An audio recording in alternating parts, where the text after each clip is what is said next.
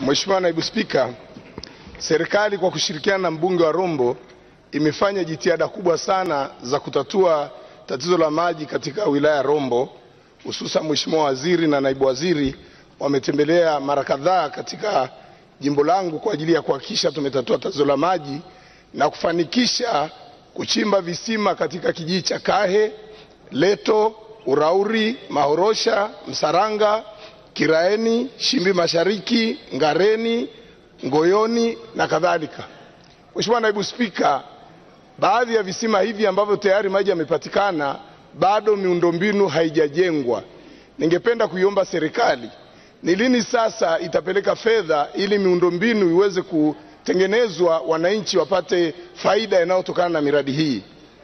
Swali la pili, Mheshimiwa Spika, Mheshimiwa Rais alipotembelea wilaya ya Rombo kwa ajili ya ufunguzi wa barabara ya Tarakea mpaka Mkuu, wananchi wa Rombo walimwomba kabla ya kumaliza kipindi chake aweze ku, kuwezesha kupatikana kwa malambo katika ukanda wa chini wa jimbo la Rombo ili kuweza kukinga maji ya mvua ambayo yanatiririka kutoka milimani kwenda nchi jirani ya Kenya, wapate kuyatumia kwa ajili ya shughuli za wanyama na, na, na, na binadamu.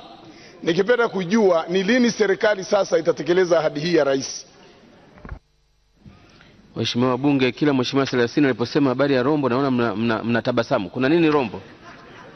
Ma, majibu Mheshimiwa Naibu Waziri maji ya swali hilo.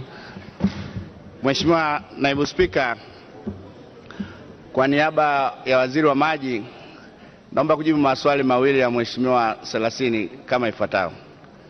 La kwanza nimshukuru kwa kutambua na kushukuru jitihada ambazo serikali imefanya na tumeshirikiana naye na amekuwa mfuatiliaji mzuri sana na hatimaye tumeweza kufikia hatua hii ya kuweza kuchimba hivyo visima.